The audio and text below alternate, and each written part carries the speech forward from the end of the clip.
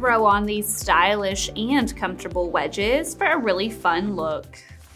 These feature a textile upper with this really subtle leopard print all over to give them a really fun look. These are available in solid black as well if you aren't a fan of the leopard print. They have a hook and loop closure on this strap at the top so you can get into these super easy. And I love this really stylish jute wrapped midsole that has a wedge heel and will boost you up about 3 inches.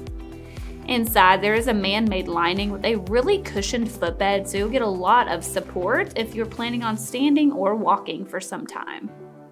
Underneath, they sit on a really textured outsole to help grip the ground for traction.